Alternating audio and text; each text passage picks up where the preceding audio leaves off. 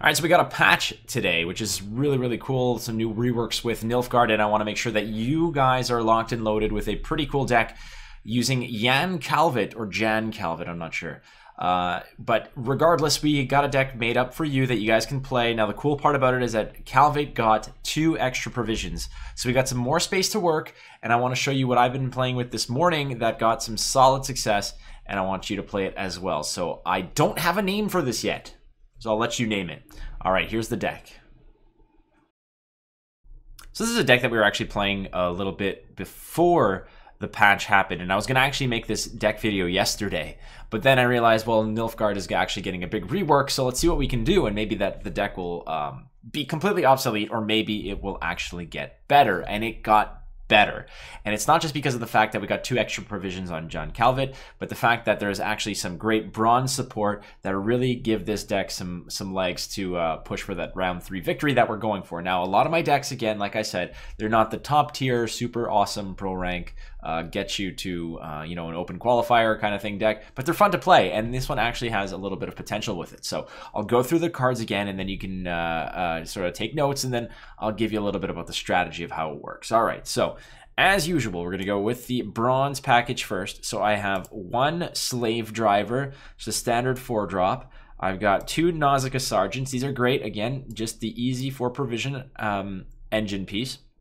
Now here's the one of the new ones the Deithwen Arbalest. And I really like the rework for this card because it is a 4 for 4, so the cost transformation of the provision is actually on point with the 4 for 4, but it's also a good tech card. This is something that you mulligan away against um, you know, decks that you don't think you're going to have to play, uh, that play out of the graveyard to any degree. But if you're playing against monsters, if you're playing against Skellige, this is a great tech card to put in there to help you out a little bit and maybe handcuff them for later rounds and really ruin a little bit of their uh, of their jam. So I got one of those. I have one emissary. The emissary's in there typically to sort of protect some of your engine pieces, uh, but also to pair with Gregoire. I have two recruits now, six for three. There's a lot of soldiers in this deck. Uh, you'll have a lot of soldiers, so you'll have a lot of places to dump those three points that the recruit plays, and he also triggers your sergeants as well. So this is a solid uh, six for five card that also protects some of your engines. Two armored, uh, Alba armored cavalry, just lock things up, no big deal. Now here's one of my new favorite bronze cards.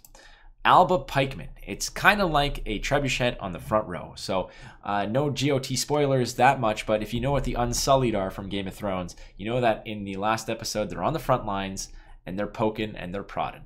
So I guess there was a slight little um, maybe a little spoiler there, but I'm not going to give too much away. But the, the the big pikes in the front row, poking and prodding, I love these. It's a four for five, and a lot of the times that four body is enough of uh, enough beef there to keep them alive for a little while. They'll absorb some damage, uh, or they'll pull out a gold a removal card out of your opponent's um, hand.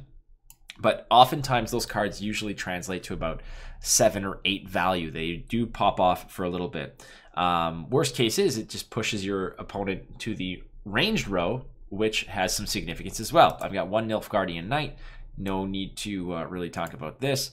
Ointment, new ointment. Now, boost a unit by four. Now, if it's a soldier, heal it first. Lots of soldiers in here, and lots of soldiers with big bodies, be it the slave infantry, be it the um, the pikemen, etc. So if they're taking damage, this could easily be a seven point um, uh, heal. So the three points of heal plus the four points of buff. So I have one ointment in there. Uh, I started with two. I didn't like two, so I put I put the one in there instead. All right. Uh, other bronzes. I have two slave infantries. Easy.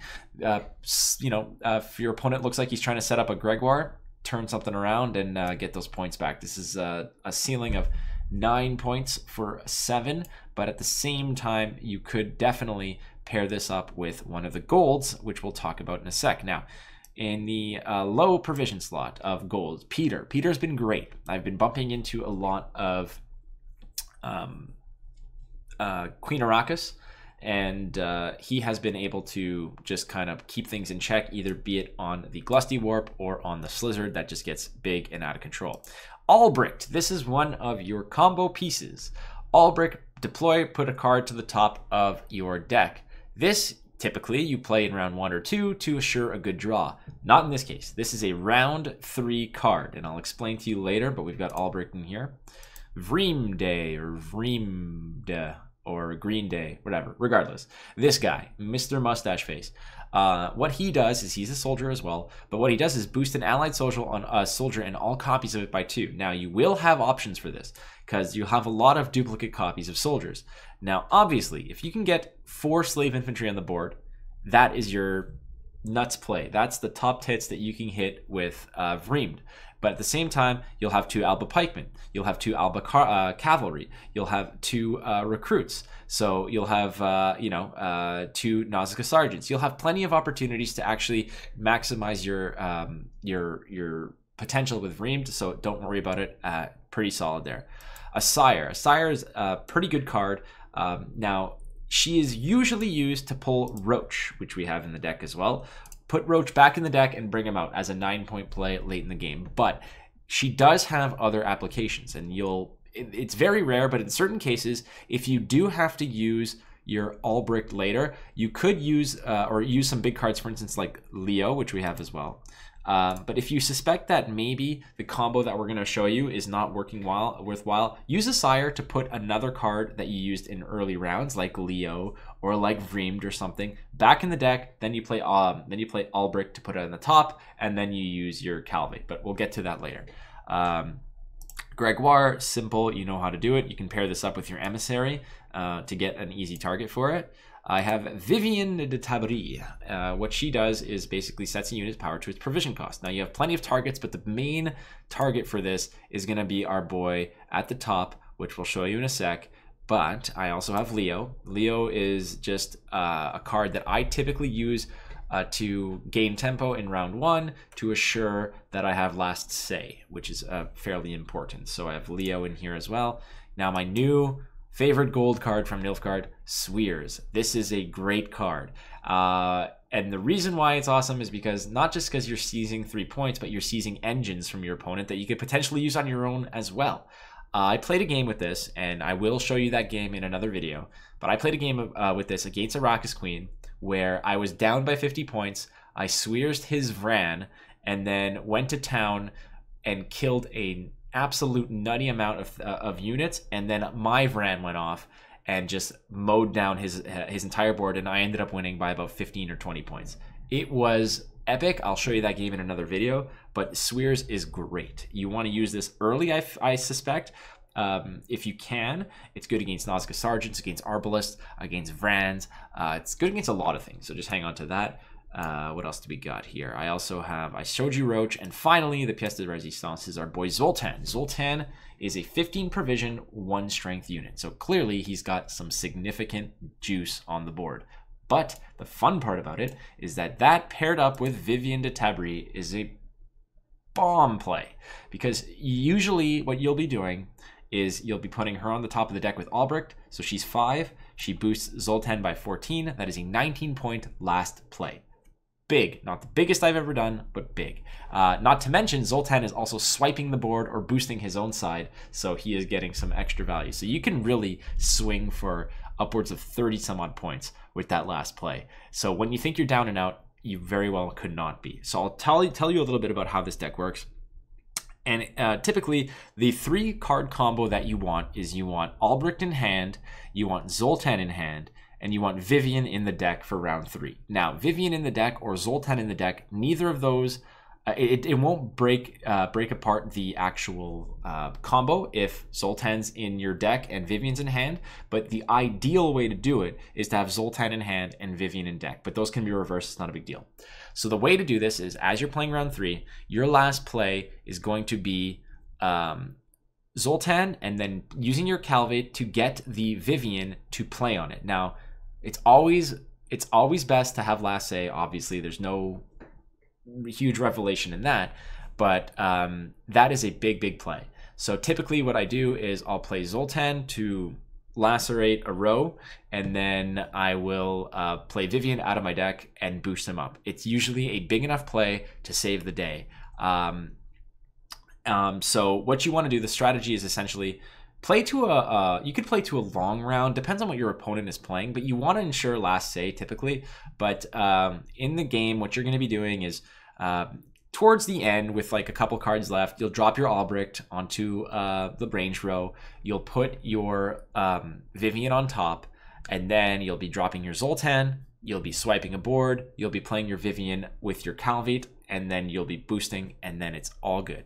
Everything else you have here is usually going to be used typically just to win round one. Uh, because that combo piece itself is pretty big and significant to win you the game all by itself. Uh, so Vreemd with your um, with your sergeants, uh, sorry, with your soldiers, you can play Sweers early. You could play Leo early. You could play Peter early. Just ensure that you get that win in round one, and you should be good to go. Once again, let's go through the cards. One slave driver, two Nauzicaa sergeants, one Deithwen arbalest, one emissary. I have two recruits, two Alba armored cavalry, two Alba pikemen, one Nilfgaardian knight, one ointment, Peter Saar Gwynleve, I think, two slave infantry. I have Albrich, Vreemd, Assire, Gregoire de Gorgonzola, Vivienne de Tabry. I have Leo Bonhart, Sweers, Roach, and our boy with the haircut, Zoltan. This is all under Calveit's 17 points of provision. Ladies and gentlemen, I have uh, temporarily named this Birdie Num Num because of the uh, Duda Companion, Duda Agitator, but you guys are more than welcome to name this the way you want. Push hard in round one, make sure you got last say in round three, and then go bananas. There you go, Birdie Num Num.